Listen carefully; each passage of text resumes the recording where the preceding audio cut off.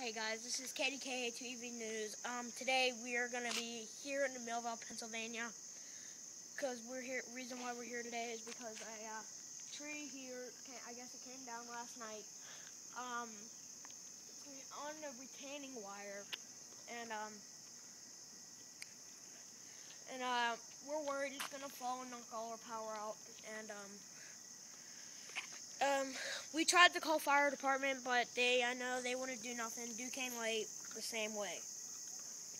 If anyone knows a good cable company, come with us. Come join us. Um, here's some uh, people that witnessed the tree found. Tree found.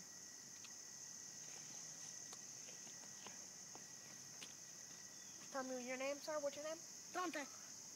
Hey Dante, did you notice that tree up there was gonna about to fall? Yeah. And what did you first think about it when it was gonna fall? Uh, wait now. Right now, um, we'll just wait and see what happens. Tonight we'll be setting up the camera, probably up in a tree. We'll see what happens. Uh, this is not really the news, but I'm broadcasting. So like it up, subscribe, and leave a comment below.